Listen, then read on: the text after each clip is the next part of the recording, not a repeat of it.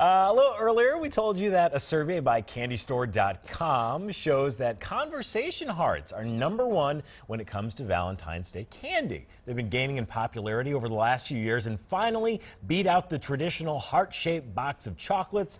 Conversation Hearts are number one in Minnesota, too.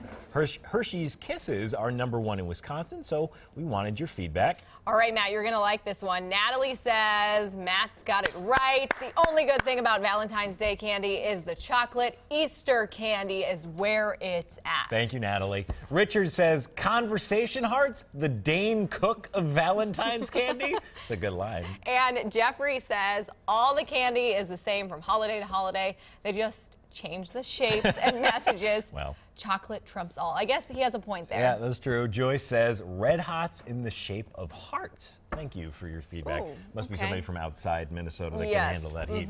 Uh, the Minnesota